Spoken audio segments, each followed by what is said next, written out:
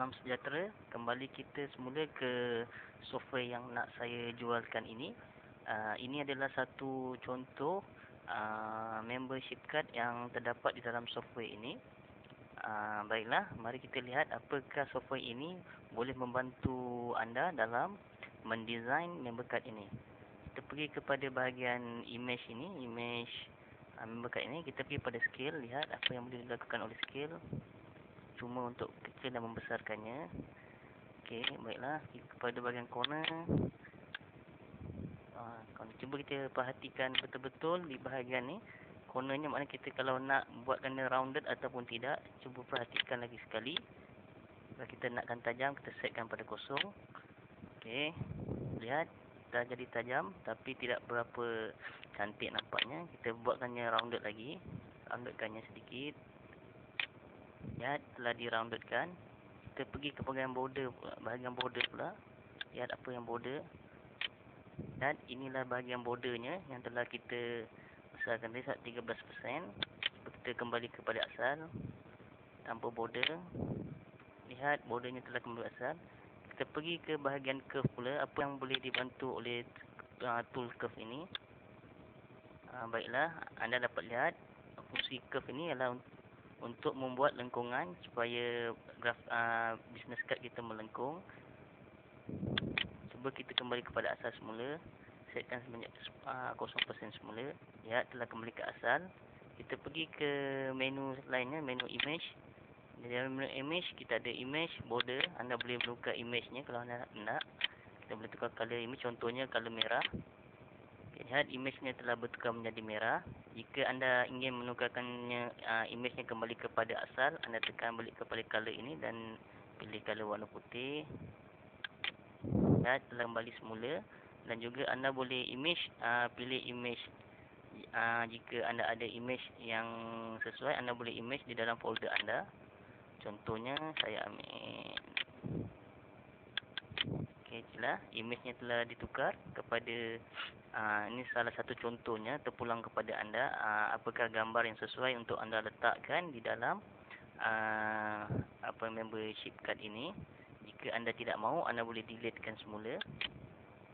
Lihat telah kembali kepada asal. Cuba kita lihat kepada bahagian kamera pula. Okey, kamera, kita pergi kepada kamera angle contoh saja untuk kita lihat kegunaan ataupun function tool-tools ini kamera angle senang diterbalik-terbalikkan, dipusing ke kiri ke kanan, sungguh mudah.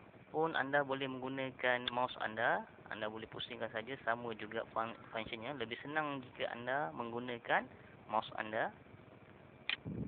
Okey, kita pergi ke target offset, kita tengok uh, kegunaannya adalah untuk menggerak ke kiri ke kanan. Dan kita pergi ke target offset ini gunanya untuk menggerak ke atas dan ke bawah cuba kita lihat okay, inilah gambarnya. Kita pergi ke menu lain lighting dan shadow. Lihat lighting dan shadow. Enable direct light. Cuba kita disablekannya. Okey tidak banyak perubahan yang berlaku. Kita enablekannya semula. Kita pergi ke bahagian uh, drop shadow ini. Kalau anda ingin buat shadownya lihat shadow di bahagian belakang ini. Anda boleh adjust shadow di bahagian belakang ini. Jika pergi ke bahagian level contoh saja. Cuba kita lihat kecerahan shadownya atau pergi ke bahagian sini. Kita boleh panjangkan shadownya terangkannya atau rotation shadownya anda boleh lihat. Kita pulang kepada anda. Jika anda tidak mahu anda boleh uh, disablekan drop shadow ini. Ok nah kita pergi ke environment. Kita tengok environment. Kalau anda ingin uh, apa skylightnya kalau tidak mahu anda disablekannya skylightnya. Ok jika anda ingin apa ni enablekan flow reflectionnya. Anda boleh disablekan flow reflectionnya. Dalam kata lain ialah gambar bayangannya. Anda boleh uh, pilih start levelnya lihat kecerahan. Pada bahagian levelnya anda boleh terangkannya lagi. Ataupun anda boleh distance disable-nya anda boleh panjangkan bayangannya. Lihat contohnya sahaja. Dan anda boleh juga pilih background. Anda boleh tukar color backgroundnya. Jika anda nak contoh saja saya pilih kuning dah di sini warna kuning. Jika anda tidak mahu anda boleh tukar semula ke warna putih. Dan juga anda boleh tahu uh, letakkan backgroundnya. Jika anda ada image anda buka folder anda. Anda boleh letak sebarang image yang anda hendaki contohnya saya letak ini sebagai contoh saja ya tuan-tuan. Terpulang pada kreativiti anda. Ingin letakkan sebagai apa?